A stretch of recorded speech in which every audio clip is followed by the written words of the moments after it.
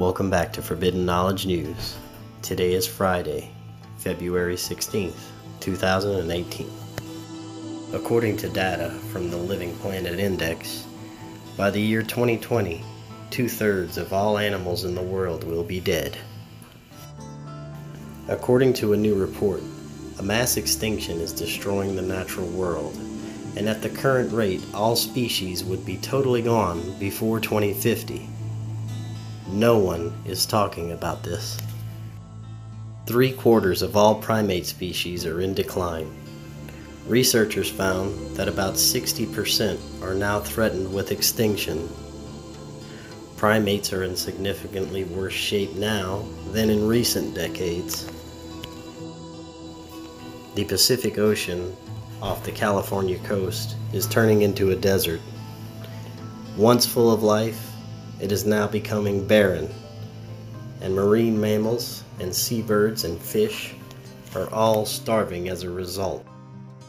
Fukushima is a huge factor as the reactor continues to fill our oceans with radiation, destroying everything connected. Another factor that is killing our ocean life is the inner core of the Earth heating and releasing deadly sulfur dioxide into the oceans. The combination of the temperatures and gases are also killing our oceans. Each year, sea life is dying off by the millions. Since 1989, scientists from the Entomological Society Krefeld have been collecting insects in nature reserves and protected areas of western Germany.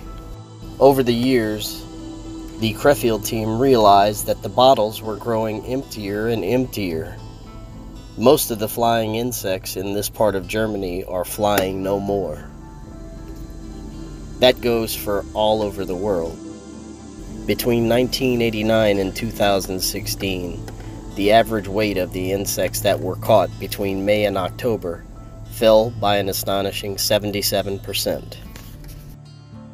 Mass die offs of certain animals have increased in frequency every year for seven decades. It is obvious that at the current rate, the Earth will soon be unable to sustain life. We are almost at the end of our era, and a new era will begin after the Earth has been cleansed. The Hopi Indians believe that there were three previous worlds in human existence, and that we were currently nearing the end of the fourth world, and the great purification will bring about the fifth. Human civilizations have risen and fallen since the beginning of life. It is part of our cycle. All ancient civilizations have accounts of these extinction level events throughout history.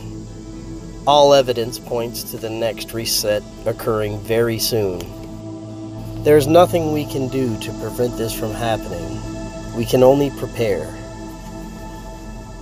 Many researchers are convinced that we are in the final days of our current cycle, especially with the mounting evidence that we are indeed in the process of a magnetic pole reversal. Our world leaders are well aware of these events to come and will continue to suppress the evidence in hopes that they can go into their deep underground bunkers and come out unscathed at the other end of these events with a drastically reduced world population and a complete new world order.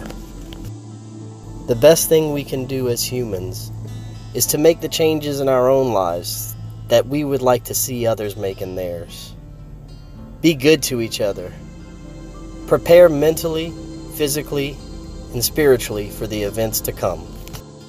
And as I said before, it is not the end, but a new beginning.